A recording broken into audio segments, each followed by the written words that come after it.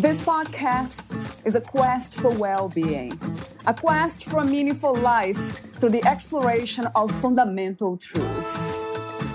Enlightening ideas, insights on physical, mental, and spiritual health. The inspiration is love. The aspiration is to awaken new ways of thinking that can lead us to a new way of being, being well. Welcome to Body, Mind, and Soul Healing Conversations.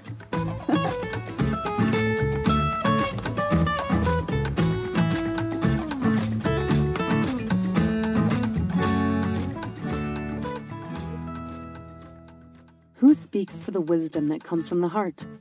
Can people be taught to listen to what the heart does when top down and bottom up information is fed to the center of the person listening? Yes, they can.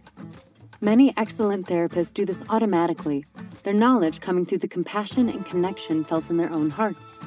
We sometimes see this as working with the countertransference. That sounds professional and very important.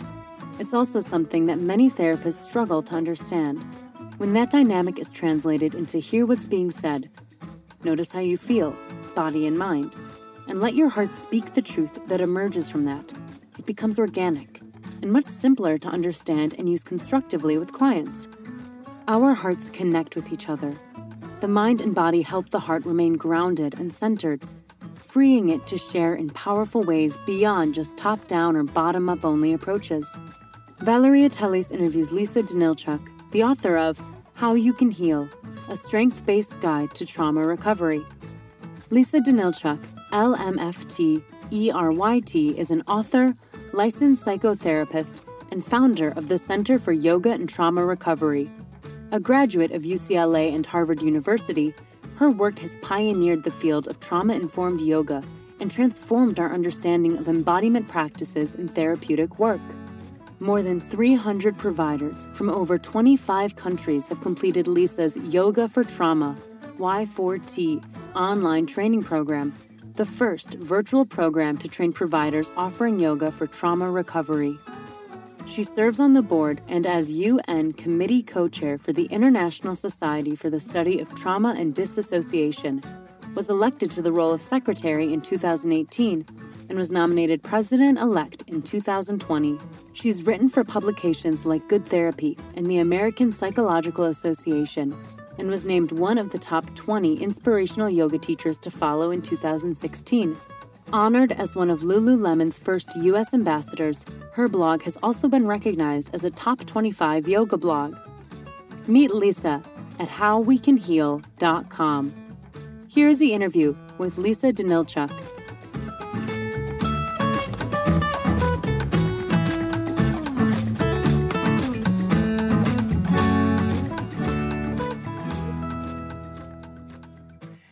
In your own words, who is Lisa Danylchuk? That's a great question. How many words do I have?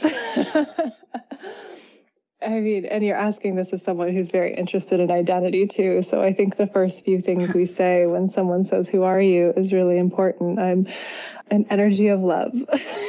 I yeah. um, yes, I mean, yes. I, the, the, classic things. I'm, mm. you know, I, I, grew up in the San Francisco Bay Area. I've always been really interested in healing. I've always been really interested in in academia as well and studying healing. And obviously, I'm a human being as well, so I've been through all my own ups and downs and ins and outs and navigated my own losses and experiences. And so, at the whole of what I'm at least doing professionally is trying to share that um, with other people. And I know there's been no shortage of challenges and um, ups, downs, ins and outs, left and rights in the last couple of years in particular. So, so I'm really glad to be here and thank you for having me. What do you think or feel is the purpose of the human experience? That is such an excellent and profound question. And I think a lot of people say, especially in spiritual communities, that it's learning and it's growth. Um, and I've I've worked, you know, as a psychotherapist uh, with a lot of different forms of trauma, and even the sort of, while some people the narrative that everything happens for a reason or everything happens to teach us something works, I think the more, I almost want to say, the more gruesome the trauma, yeah. or the more you know, violent or gruesome or or sadistic, even the harder it is to. For some people, I think some people still find that that meaning, but I think the harder it is to, for me, even as a listener, to embody that with the other person or to right. to hold that oh this happened so you could learn compassion and you could learn love it's like well i think you could have learned compassion you know not to be confrontational but like without being raped as a child right, right. like i don't yeah yeah. it's really difficult when you and i think it's important we face these bigger traumas and experiences when we are creating a, a really wide narrative like that so i do feel though that there is some energy of evolution that happens um, an evolution of of humanity and that so many people I have worked with who've been through the most horrific of traumas really do find within themselves an energy of love, of compassion, of maybe not tolerance for what happened to them, but transcendence of it, so that they're able to be conscious enough of what's happening inside themselves and their reactions to their trauma and the impact of the trauma and the impact of trauma across generations that they then choose not to embody it and continue it. And I think that's one of the most powerful things we can do as human beings is is be self-aware enough mm, most of the time yeah. as much as possible yeah, yeah. to not pass down a legacy of harm or of of trauma or of, of violence or i think in spiritual terms we might say of separation so so when you ask what why are we here or what is the purpose or what does it mean to be embodied as a human being I do find that when people, often through yoga, meditation, and, and other similar practices, find a steadiness or an energy, uh, whether it feels they, they describe it within themselves or outside of themselves through a religion or a spiritual practice, when there's an energy of love, compassion, you know, unconditional love, universal compassion, that really seems to be transformative. And, and so I've come to lean into that and trust into that. And when you are in those really heavy or confrontational, challenging to make sense of traumas, at the very least or you know at the most we can lean into a sense of of empathy of compassion and of of the truth that we all are vulnerable to to that harm and and that seems to go in the direction of connecting us and that you know at a physiological and spiritual level tends to feel like a good thing for me and yeah. for others too uh, from what i hear so so to boil it down i would say connection mm. compassion mm. and evolution how did you come to these understandings lisa do you have personal experience with trauma at that level that you had to transcend through yoga and spirituality or through your work? I would say through all of it. Um, yeah. All of it has contributed contributed to that yeah. that you know lens or that way of understanding things or seeing the world. I will say, um, in my own experience of trauma, which you know when I was 22, my brother died really suddenly. And that was very impactful for me. And I, as someone who was already doing yoga and studying psychology, I mean, I kind of dove into it head first and I did a ton of yo- yoga was the most mm. helpful thing for me at that mm. point in my life.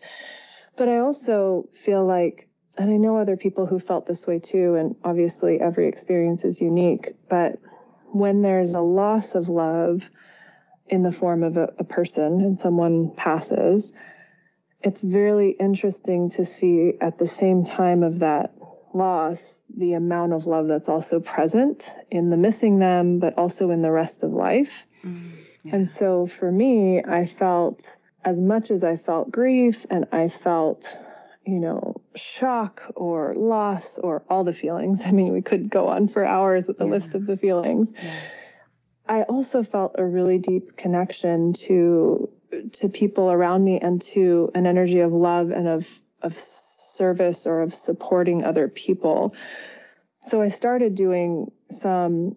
I, I think there's like a, a almost a craving for depth that can come with a really deep experience of loss or of trauma.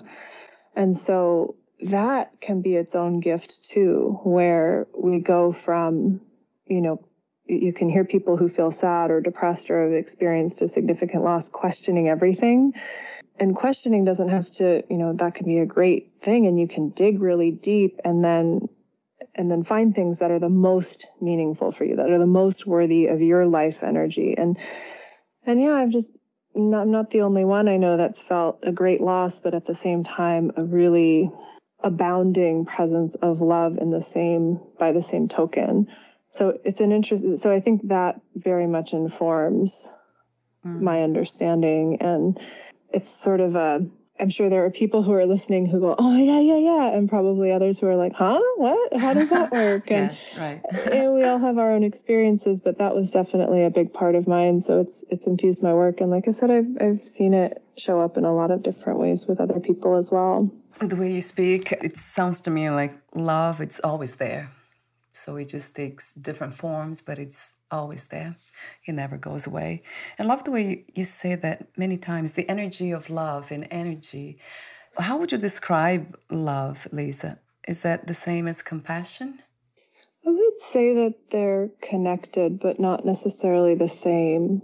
I feel like compassion, there's some amount of understanding and empathy in that. And you know, when I say love, it's again like digging deep underneath all forms of that, right? There's yeah. familial love and romantic love and love for pets and love for the earth and love for things you do or your passions. And I think I say the energy of it because there's something deeper or more transcendent there that I'm not sure I can really put mm. words to, but I would I would say that it's something that I I have felt and feel in really deep yoga practices or meditations, you know, we, we talk about the fluctuations of our minds and how our minds are always sort of stewing and brewing and processing, which isn't a bad thing.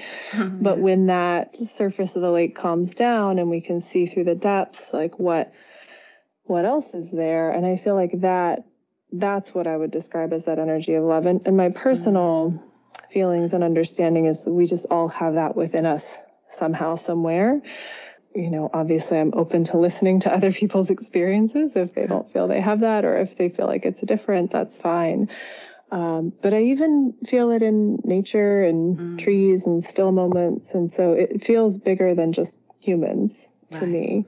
And it feels like a larger, I think you, I could call it a, a larger spiritual force, but again, it feels sort of constrained by words. Yeah, it seems like there's no way to describe that. I love the way you say that it's um in a way, what you're trying to describe is beyond thoughts, beyond mental activity.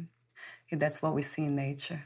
It's uh, no stories. It's very, I mean, saying a lot, but in, in a very profound, uh, in a different way, let's say.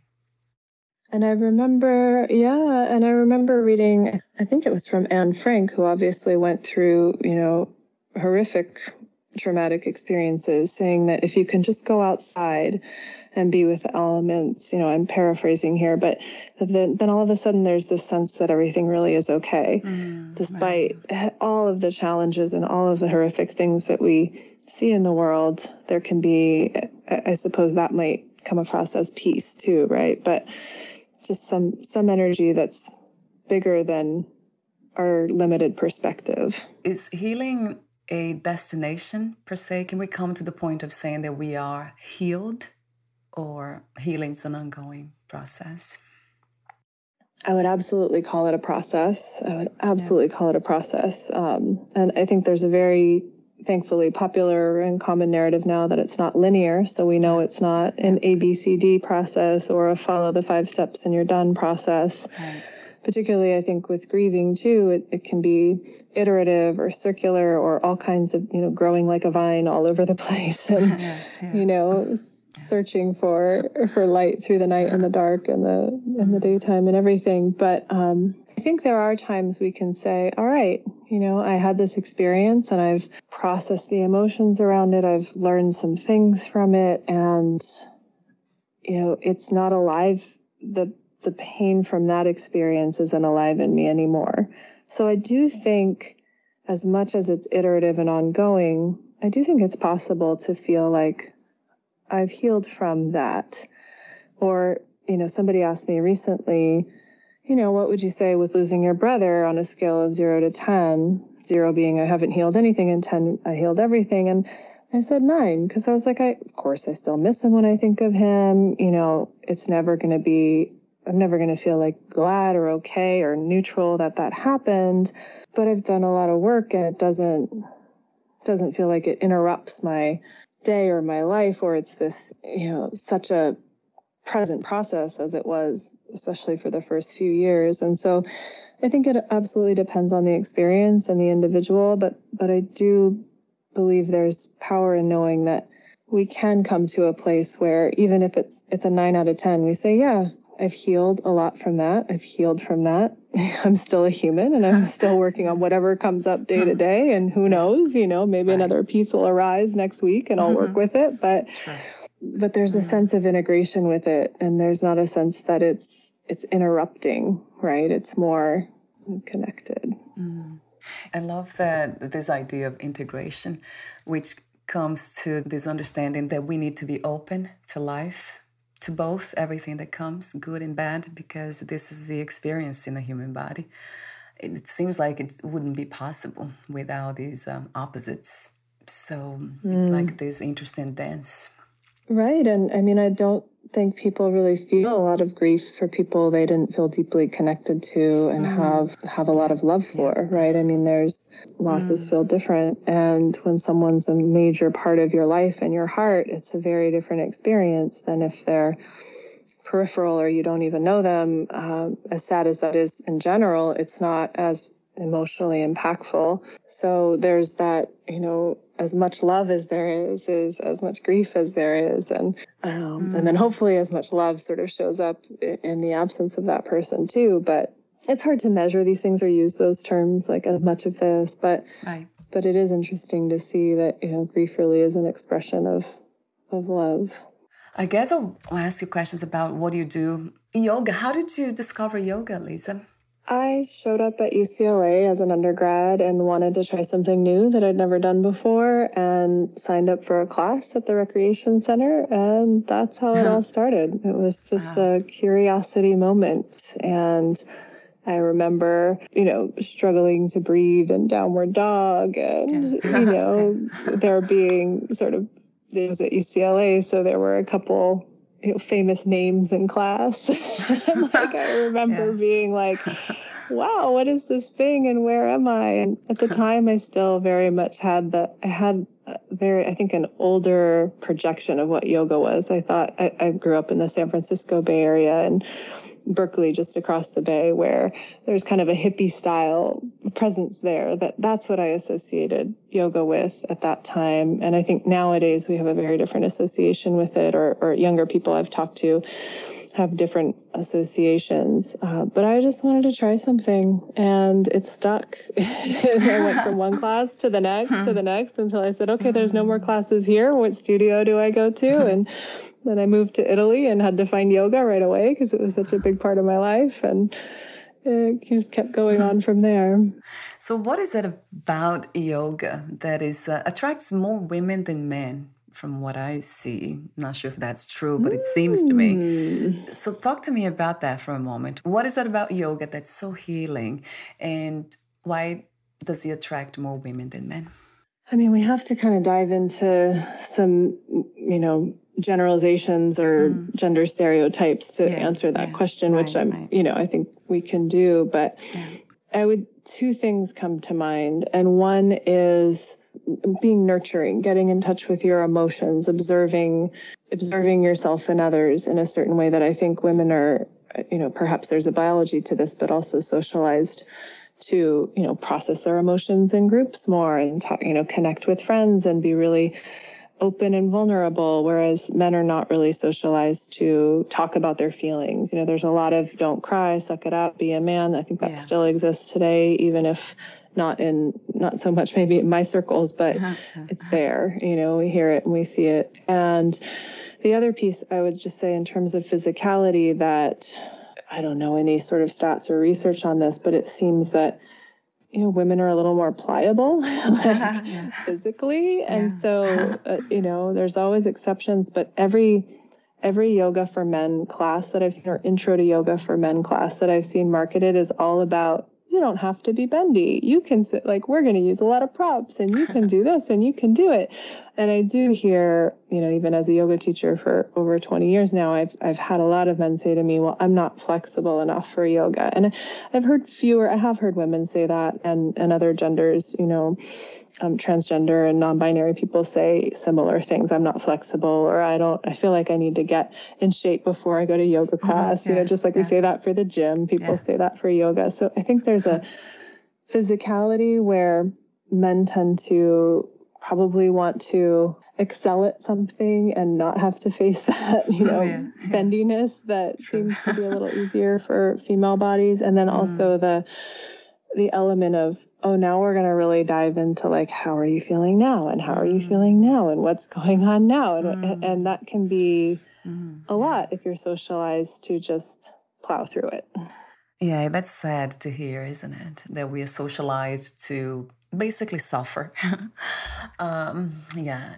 and it happens wow. to women and people of all genders but yeah. there's there's definitely a tough guy narrative out there that it definitely exists so you wrote the book, many other books, but uh, the one for today that I would love to talk to you about briefly is uh, how you can heal a strength-based guide to trauma recovery. Talk to me about the inspiration and intention of writing this book, Lisa. Yeah, so it, it kind of fits in with the others. You know, my first book was Embodied Healing, and I, I wanted to write about yoga and trauma recovery. And so I wrote a little bit about my own experience and kind of general terms of, you know, what the basis of why why yoga for trauma recovery. Yeah. And then one of the things I've found is that writing about trauma, like all of a sudden, we're already going into potentially some really serious and confronting emotions and experiences. And so, and this was also part of my master's work was to look at, well, how do we you know, yes, there's trauma. Yes, there are these challenges. How do we bolster people? How do we access resilience and, you know, sort of bring in prevention and early intervention? And one of the concepts there that's been really consistent for me throughout my career is something called resourcing, which is psychological resourcing, meaning connecting with positive memories or, you know, imaginal resources, things in your imagination or based on maybe positive stories or narratives you've heard or people you've known or movies even or you know fictional characters so we can use our minds and our bodies to find a soothing and supportive space we can connect with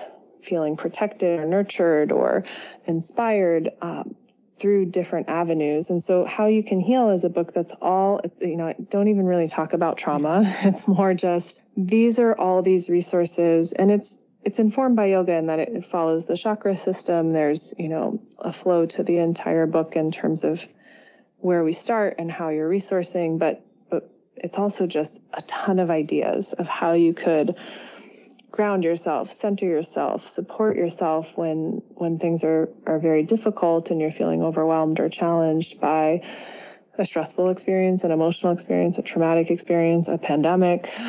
you know, it's yeah, yeah. I've I've given that book away so many times in the last couple of years because it's just so relevant. And I think as much as people are processing a lot of emotions, sort of collectively, we're doing that even processing gets exhausting, right? Like really feeling your grief and really feeling your anger and sorting through why and sorting through how and understanding intergenerational trauma, like all of that stuff is a lot.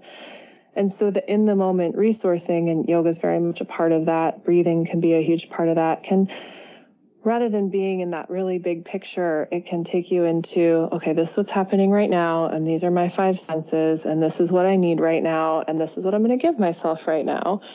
And a lot of times we, you know, try to regulate our minds with our minds. Like, true, so this true. is how I'm feeling, so I'm going to think differently, or I've got yeah. a strategy. True. But when we use and really mm. embody and you know bring our bodies in and and use embodied practices, like we can look to our bodies for self-regulation almost more than mm, the so mental true. strategies. And I think we kind of forget there's a very you know mind body approach is like there's like they're two different things and we can kind of forget that like our head and our thoughts are like they're on top of something. Like it's always yeah. there and it's all very connected. So using our breath and using movement and using just mm. different even physiological practices um, creative practices can can be of a great service. And so that's that's where how you can heal came from. And like i said i think it's just rele- so relevant today and in an ongoing way. I mean i use these things all the time. Yeah. All the time. Yeah i love and your work. my clients yeah. do too. Thank you. Yeah it makes a lot of sense to me. When i think about those components the body the mind um, which is mental emotional activities and then the spirit or maybe the energy of love that we spoke earlier i wonder if we can bring that also get to not know but realize that more often that presence of undescribable love because this is something that I'm very interested in, in not just moving from my head to my body, which I do often, but also expanding to the place of love that's untouchable, that is very abstract, the mind cannot grasp. Have you tapped into that in the sense of um, even writing about it, Lisa? That there's all this space of the spirit, the soul, or whatever we call it?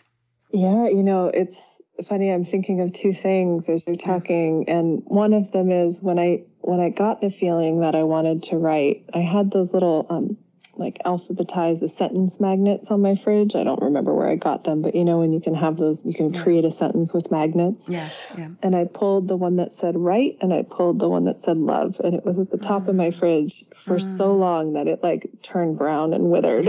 yeah. Still somewhere, but it was yeah. just like write love, mm. and so I do mm. feel very connected to it in that way. And and one of the other things that comes to mind is as you're talking about that mind body connection is we talk in trauma informed yoga about top down where we're sort of put my foot here put my hand there and that happens in yoga obviously. And then bottom up which is like well what does my body want? What does it need? What is it you know what kind of movement is it sort of calling for? Which is very different than sort of putting yourself into a form or a shape or a yoga pose and there's another one though, and, and I have to credit my mom because I this came from speaking with her. It's like, what about the center out? You know, what about mm. from your heart? And it's like, oh yeah. And so I ended up writing about that. I think it's in my third book, yeah. Yoga for Trauma Recovery. But but I think that's a lot of what happens in therapeutic work, whether sometimes we're aware of it, sometimes we're not. But there's, and that's what comes back to, I think, that compassion. And you know, when I think most of us have a sense, a vibe, a feeling when we're sitting with someone and they're they're empathizing, they're feeling with us, or they're compassionate, they care, they they you know have an understanding of how that might have impacted us. Like so, when there's a sense of heart there, that's very different. And then just I'm telling my body to do this or I'm self-regulating, yeah. right? Yeah. so, yes. but yeah being in that space, I think, is a very self regulating experience, right? I mean, I can think of the times when I feel really connected, like now, even in in nature, I'll be, you know, looking at a tree or I'll be climbing a mountain and looking at a view or just, you know, smelling pine or something. And I can feel some of that. And so I think it's unique for people what connects them. But I do feel like that's what spiritual and even sometimes religious practices are are seeking, right? Like how do I stay connected to this instead of getting distracted by all of those, you know, all of the things in life or work or all these thoughts? How do I sort of go back to center? And it's interesting when you ask people to point to themselves they don't usually point to their head, right? They're usually pointing to like the center of their chest, like, mm. oh, that's me. Yeah. And and it's funny because yeah. even in yoga and energy medicine, the center is usually down in your belly, but I haven't really seen people say me and point to their abdomen either. So there's something really interesting about that that we sort of identify, mm. and, and you know maybe that's just learned because you've seen other people do it, yeah. but for the most part, people feel some sort of centralized, you mm-hmm. know, some sort of center there, or some sort of identity or connection. Um, so it's an interesting space to to explore, and it it's um, always going to be unique, but there does seem to be like when we hug, we put our hearts together, right? When we, there's something about it. So, you are the founder of the Center for Yoga and Trauma Recovery. And also, you have a um, online training program called Yoga for Trauma, Y4T. So, talk to me about these two companies of these two works that you do, Lisa. Yeah, so the Center for Yoga and Trauma Recovery, I founded in 2017 and started doing some in person workshops in Oakland, California. Everything's online now. Um, and Yoga for Trauma is the kind of flagship course and the primary training for the Center for Yoga and Trauma Recovery. And the goal is really to educate yoga professionals, mental health professionals, and even, you know, allied health and wellness professionals in trauma informed practice, in how yoga can be healing, but also how it can be triggering and where things we've seen things go wrong and people be harmed even within yoga and meditation and, and spiritual communities. So it's um, the the Y4T program. You know, that's really just the shorthand I started using because I was writing yoga for trauma over and over again everywhere. Yeah, yeah I can imagine. Yeah, I was like, okay, too, yeah, too many letters here, kind of like my last name. so that's a kind of foundational program in trauma informed principles and and really builds, you know, from you know healthy dynamics and and into somatic practices, understanding our nervous system, understanding yoga philosophy, not just, you know, the shapes and the practice. And then kind of concluding with like, how do we offer this to different different groups of people. Trauma isn't uniform. It doesn't always act a certain way. I mean, there's certain biological things that are common, but you know, we need to really be responsive in offering trauma informed care and trauma informed yoga. So that's a foundational eight week program.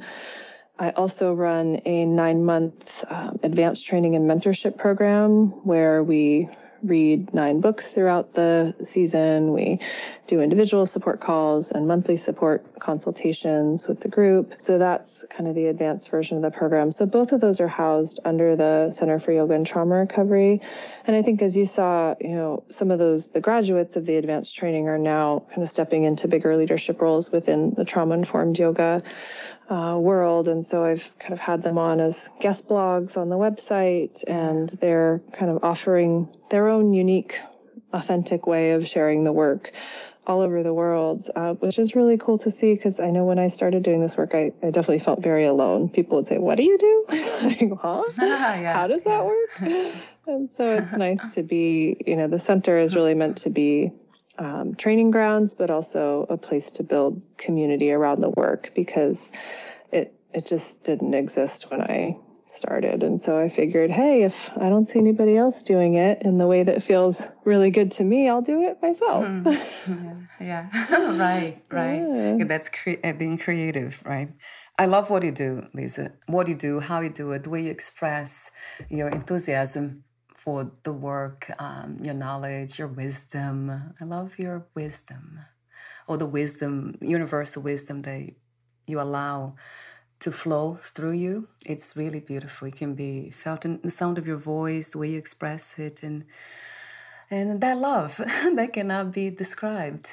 It's really, really beautiful. Thank you for your presence in this reality. A blog post that you wrote, it's titled what got me through the last four years. Mm-hmm. And then you have yeah, focus, love, commitment, rest. Mm-hmm. That's insightful. Would you like to make a comment about that blog post and why you wrote it? I think um, I wrote it in a time where it felt to me like there were so many things being triggered.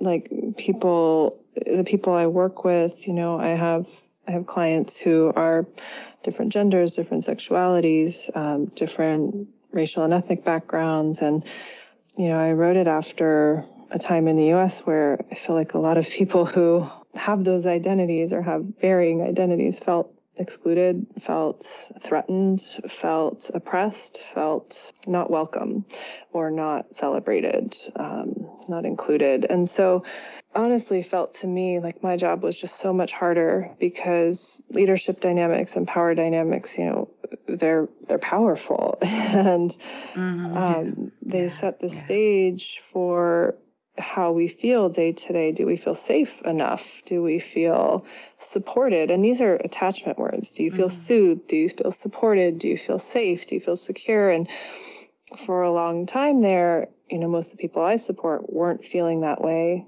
because of kind of the messages they were getting from from leadership at the time. And so what got me through was definitely like committing to supporting those people, taking more rest breaks, and that sort of slow, steady, one day at a time, one thing at a time, I'm doing what I can sort of approach. And I do think even after, you know, I also love hiking and trail running and I've done a lot of trail runs in my life and and it's you know there's like a pacing. There's an mm-hmm. element of like pacing and appreciating where you are and you know embracing the positive moments and breathing into the challenging moments and so i think way back on the blog there there's like life is like an ultra marathon right? yeah, where right. you like you it just that. keeps going and there's another hill around the corner and yeah. sometimes it's downhill and it's fun and you feel great but a lot of times there's just work and unexpected things or you know an animal on the trail or whatever right yeah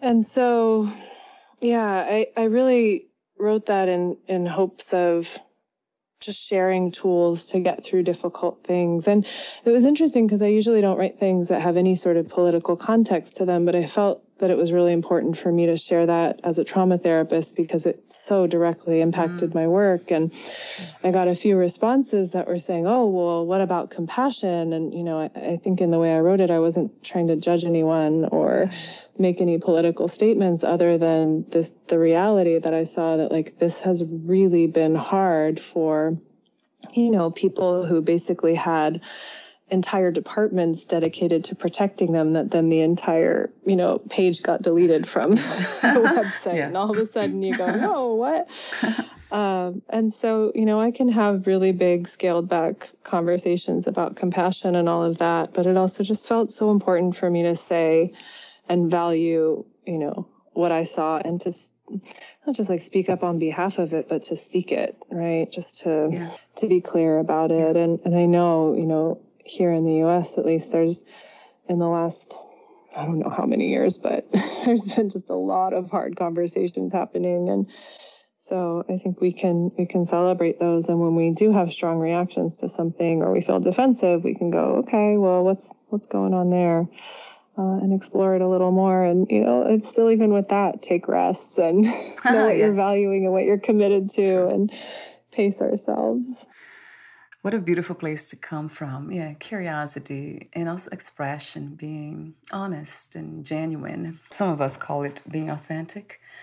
That's what you're doing as well. That's one more thing. And um, Speaking of power, not that you mentioned that word, I have a question for you. We're almost at the end. I have so many other questions, but I have to add this one. What is true power to you, Lisa? Oh, yeah, we could do, we could go on for another whole. oh, yes, right, right.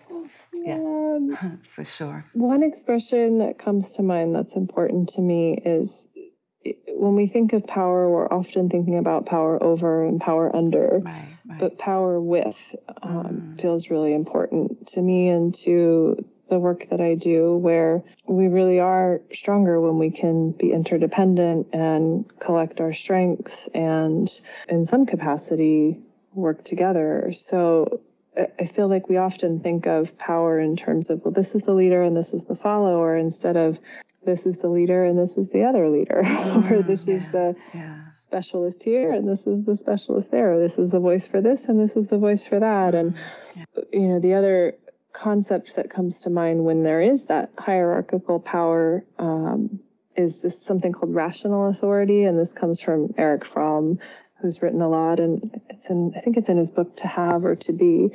But rational authority he defines as others are dependent on this authority and the authority is seeking to serve those that are dependent it's going okay how do we best take care of you could think of it in a family like a parent that's going what's best for the child that's rational authority and irrational irrational authority is seeking to exploit so it's well how do i you know how do i get something out of this child child or this citizen or this whatever else. And so that's another way i think we can kind of organize our thinking around power is it, and sometimes we kind of shy away from being in a place of power because it usually has responsibility the saying you know with great power comes great responsibility mm, yeah, and yeah, or yeah. with any leadership position right? But we can bring in okay well i'll be in rational authority. And people talk a lot about service here. I'll be in service but i'll also still claim yes i, I do have decision making power or I have some leadership power here. And then we can also think of power with. So it's like, how do I develop a council around me? Or how do I support people who maybe are quote unquote followers or dependents in, you know, making choices that are empowering for them instead of just being the only one, right? So we could go on forever. True. but those yeah. are those yeah. are a few things that come to mind. And and I think with mm. that you know, we talked about, or I talked about feeling like everyone has love within them. And I think we all have power too, but it's really challenging to sometimes to connect with it or to, you know, sometimes we get lost in different dynamics that are, that are really powerful and we the dynamics can be powerful too mm-hmm. you know and so sometimes we kind of forget that we have even just the power of choice right mm. we have the choice often not always but we have the choice of you know how we're thinking or what we're um, allowing in our lives or you know whether we go or stay or you know move forward or whatever it is. So i think looking to looking to what choices we do have and expanding that view as much as possible can also be really empowering. That very much sounds to me. Yeah this being open curious yeah that is a place of power, if we can label that. You talked about earlier, uh, inspired by your mother, from the center out. You have that mm, as a blog mm-hmm. post, a different perspective on healing. And there you say, you write, our hearts connect with each other. The mind and body help the heart remain grounded and centered, freeing it to share in powerful ways beyond just top down or bottom up only approaches. I love that first part of this passage. Is just, um, I mean, means a lot to me in that sense. If there's meaning here, our hearts connect with each other, right? It goes back to that love, that energy of love. I think I'm going to title this "The Energy of Love." this, I love it. Podcast. Yeah, please. That's um, perfect. Yeah, and it's like a network, right? I mean, if you think of sometimes people talk about um, energetic cords and you know sometimes from the perspective of cutting them but like you think about the people you're connected to in your heart and the people they're connected to in their heart and it just ends up exponentially just you know traveling all around the world at a certain point. Uh, and i think that's a really beautiful kind of web way to think that that we don't always we don't always get a lot of that imagery or hear a lot about that but Right. We can feel it. yes, right. We can feel it, that bigger picture. So, my ending questions, before I ask them, I think I have a couple of them for you, Lisa. Would you like to add anything or read a passage in one of your books or your blog posts? You know, there's something on my wall that that maybe fits here. I have a quote from Rumi framed that I've had for the longest time, and I carry it every time I move, and I always put it up near where I practice yoga because I'll end up seeing it and something will resonate. But it just says, What is the body? Endurance. What is love? Gratitude. What is hidden in our chest? Laughter. What else? Compassion. And that's by Rumi. this is something that you also explore that you make me smile the entire interview i have a smile on my face and giggling and uh, that's a beautiful inspiration. So you're coming yeah from that place chest heart. Oh i love rumi who doesn't? So thank you for reading that. So my ending questions for you. Let's see. I'll ask yeah let me ask you this one. What is another word for healing? Growth if you knew you would die soon, meaning leaving, losing the body, would you make any change or do anything in a different way? I would be on the computer less. Tell me about it. yes.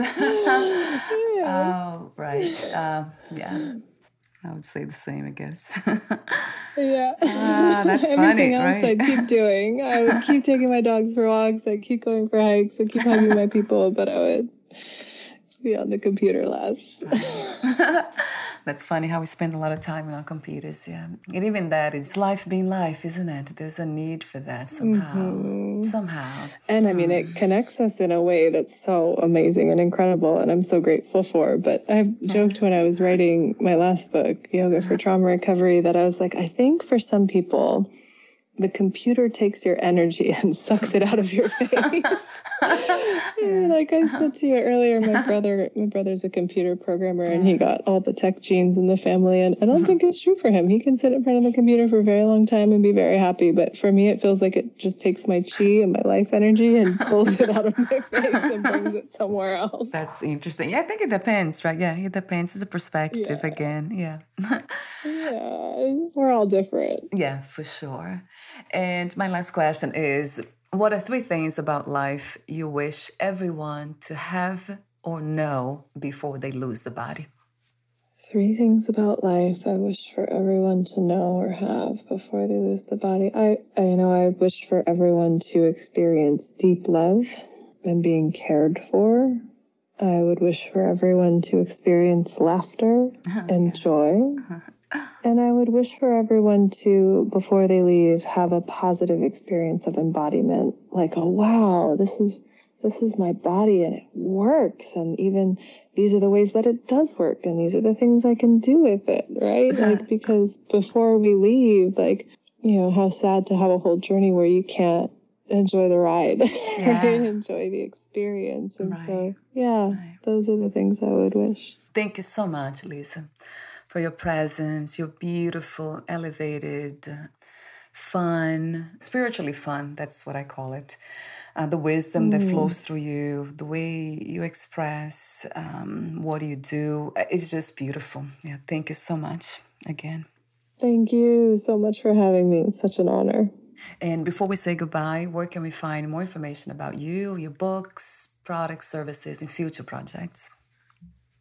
Yeah, well, since I have a mouthful of a last name, um, I do have lisadanylchuk.com, but also How We Can Heal is my primary website. So you can go to howwecanheal.com and it's H O W and then another W E um, C-A-N-H-E-A-L dot com. And then all the programs are there. That's basically the home for the Center and for Yoga and Trauma Recovery.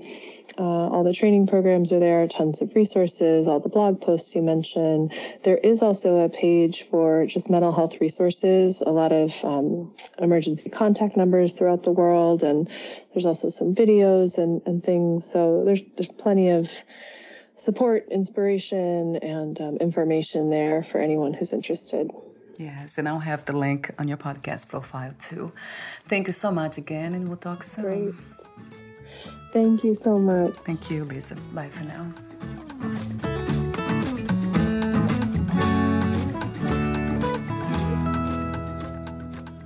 Thank you for listening. To learn more about Lisa Danylchuk and her work, please visit howwecanheal.com.